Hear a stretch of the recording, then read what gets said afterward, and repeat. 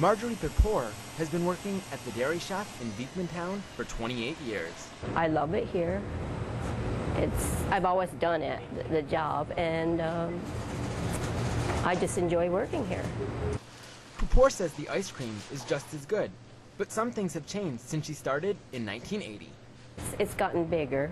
There's more employees. For Marjorie, working at the dairy shop is a family affair.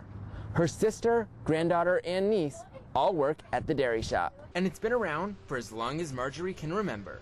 I know when my children were small, it was here. Mary Beth Whedon owns the dairy shop. She's the new kid on the block, compared to Marjorie. But the two women became friends quickly. It's really like a family here. We have a lot of fun. It's a lot of hard work. Hard work that keeps the dairy shop tradition going. A lot of customers that line up now have been coming here for cones since they were kids. A lot of kids, small children grow up, marry. But Marjorie says there's one complaint that she hears over and over in the off season.